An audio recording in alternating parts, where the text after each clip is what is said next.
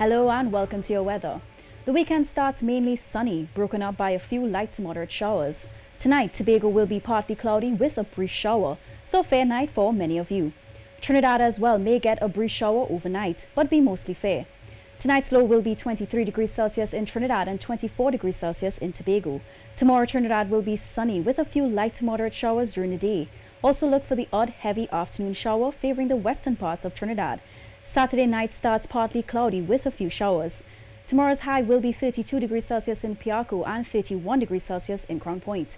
On Sunday, the breeze picks up with a low chance of a brisk shower and remains sunny and breezy on Monday. Fisherfolk can expect moderate seas and offshore waves from 1.5 to 2 meters with a moderate breeze from the east-northeast. And this November was the driest on record in Tobago and the second driest in Trinidad in 76 years. Ian Wallace has more. November usually is the second peak of the wet season. However, this November rainfall has been 63% below the long term average.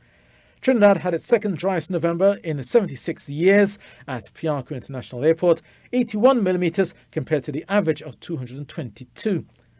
Meanwhile, in Tobago, they had the driest November in 53 years since records began in 1969 just 36 millimeters recorded at Crown Point. Compare this to the average of 219, and that made it an 85% drop from the normal.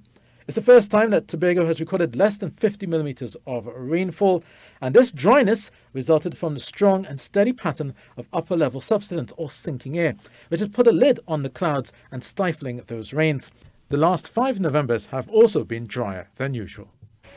To recap, your weekend looks set to start fair for gardeners and farmers, so happy planting.